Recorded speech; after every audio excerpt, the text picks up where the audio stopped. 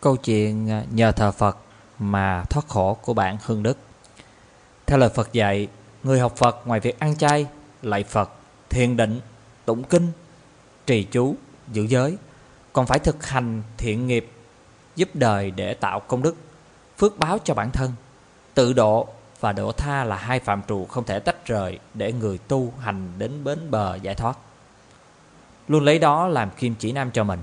Nhóm Phật tử của chúng tôi Ngoài thực hành công phu hàng ngày, Còn vận động khuyến khích nhau Làm các thiện pháp Như giúp đỡ người nghèo, Cúng dường chùa chiền, Tặng kinh sách, Máy niệm Phật cho Phật tử.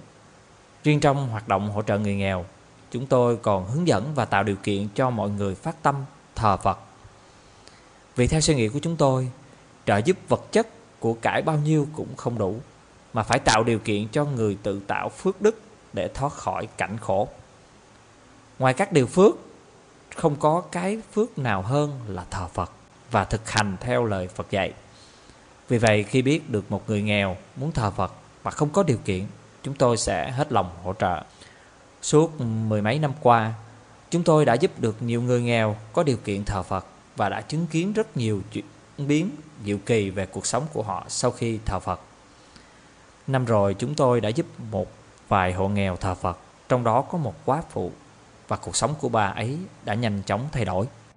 Người phụ nữ đó tuổi đã ngoài 60, sống cô quạnh trong căn nhà tình thương nằm ở mé sông cuối ấp. Bà có cô con gái duy nhất nhưng đã bỏ lên Sài Gòn lấy chồng. Cuộc sống cũng khó khăn nên cô ấy ít quan tâm tới bà. Vì vậy sớm hôm ra vào, bà chỉ một mình thui thủi.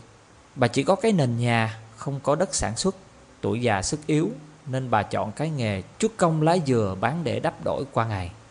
Hàng ngày khi hỏi xin được lá dừa khô của các chủ vườn, bà ngồi cầm cụi, chuốt bỏ sạch phần rìa lá. Lấy cọng gom lại, đem đến chỗ thu mua, bán lấy tiền. Một hôm bà đến nhà tôi hỏi xin chút công dừa, được tôi đồng ý. Hôm sau bà tới ngồi chút cả ngày, trưa bà chỉ ăn một tán cơm ngào đường thay cơm. Dù tôi mời ăn trưa nhưng bà nhất quyết từ chối, nói cho chút công Vừa làm an ơn nhiều lắm rồi. Đến chiều bà gom được chừng 4 ký công, Bán được khoảng 20.000 đồng.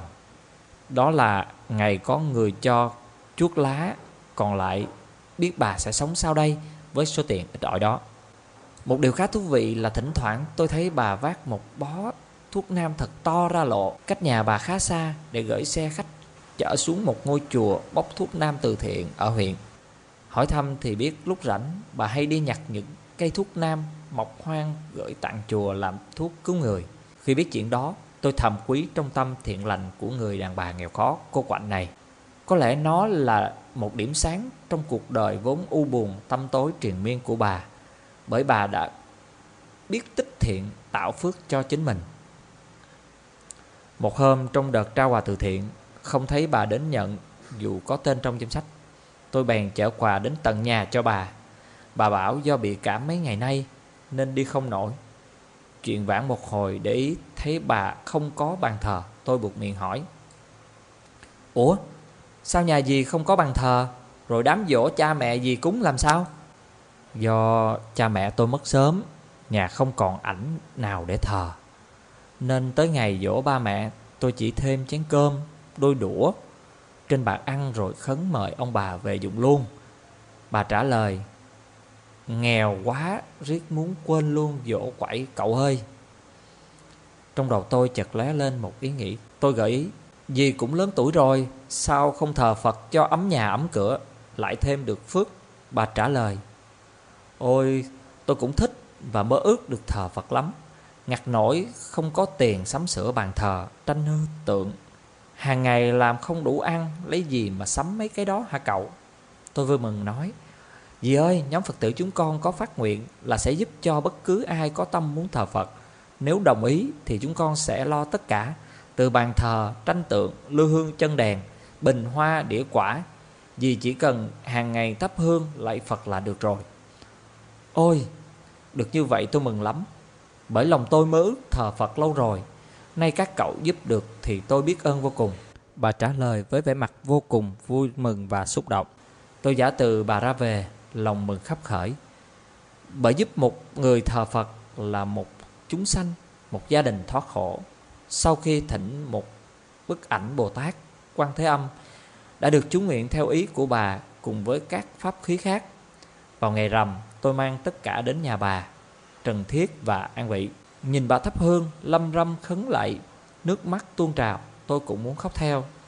Tôi thầm cầu nguyện chư Phật, Bồ Tát, Linh Thiên, gia hộ độ trì cho bà thân tâm được an lạc, sớm thoát cảnh nghèo khó cô quạnh này. Xong lễ an vị đơn sơ, tôi tranh thủ hướng dẫn bà một số vấn đề cần thực hành khi thờ Phật và khuyên bà nên đến chùa Quy Y Tam Bảo và học thêm Phật Pháp. Bà một mực văn dạ theo lời khuyên của tôi. Nhìn ánh mắt bà ngời lên một niềm tin và một tương lai tươi sáng, tôi như cảm nhận Phật tánh trong bà bắt đầu hiển lộ ánh hào quang. Xua tan bóng tối triền miên trong cuộc đời bà. Bạn đi một thời gian dài do bận công chuyện nhà và Phật sự ở địa phương khác. Tôi ít lui tới gặp bà. Khoảng 8 tháng sau ngày an vị Phật, một hôm trên đường đi chùa xa về, tôi tình cờ gặp bà đội một bó thuốc nam thật to ra tỉnh lộ đón xe để gửi tặng cho chùa. Nhìn khí sắc bà sáng sủa khác xưa, tôi vội ngừng xe hỏi thăm. Bà vui mừng cho biết sau khi thờ Bồ Tát, khoảng 2 tháng thì có người tới tìm muốn bà đến giúp việc nhà cho họ. Ông ấy là giám đốc một công ty xuất khẩu. Ông có một bà mẹ già, do công việc nên vợ chồng họ phải đi làm suốt. Họ muốn có người bầu bạn với mẹ khi họ vắng nhà. Công việc của bà chỉ đơn giản là nấu cơm, cùng ăn cơm với mẹ của họ. Cơm nước sinh hoạt họ lo hết, mỗi tháng trả cho bà 3 triệu. Bà nhận lời ngay, làm việc được mấy tháng, chủ nhà vui vẻ, công việc nhẹ nhàng. Ngày Chủ nhật được nghỉ, bà tranh thủ đi nhặt thuốc nam để tặng chùa và đi chùa nghe Pháp. Bà khoe với tôi đã quy y tam bảo ở một chùa trong xã. Có nghe giảng Phật Pháp nên siêng năng lễ Phật và làm phước để thoát khổ. Ngoài ra bà còn cho biết đứa con gái của bà dạo này đã khám khá hơn trước, có về thăm bà. Mừng lắm cậu ơi, bà nói. Nhìn khuôn mặt sáng rỡ của bà, nghe giọng nói vui vẻ của một con người đang hưởng hạnh phúc, lòng tôi cũng rộn rã một niềm vui. Tôi thầm hiểu, những gì bà đang có được là nhờ phước báo mà bà đã tích thiện bấy lâu, mà lớn nhất là phước thờ Phật, làm theo lời Phật dạy. Hương Đức chia sẻ